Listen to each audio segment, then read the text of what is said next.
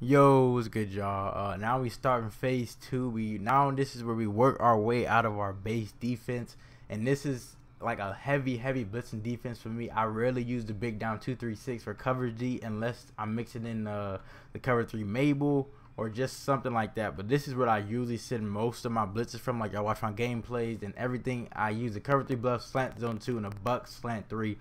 First, I'm gonna talk about the cover three bluff. Uh, I'm gonna talk about who you want where, wear, right?